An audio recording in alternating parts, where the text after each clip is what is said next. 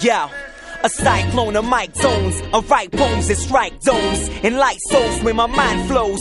Blow gates of time, my foundation. Stand on the rock through the wind and rain. Change my multiple styles to heal multiple wounds for a doomed generation. My penetration deep to the root, the boldness, speaking the truth with no shame.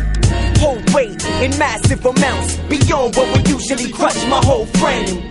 Vocal presence erupts in the booth, spit fire and liars corrupting the youth with self-destructive jargon, harming the mind.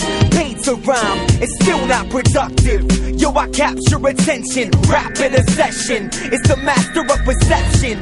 No special effects, just spoken text in three-dimensional flesh broken down, conscious and concise. I rock it precise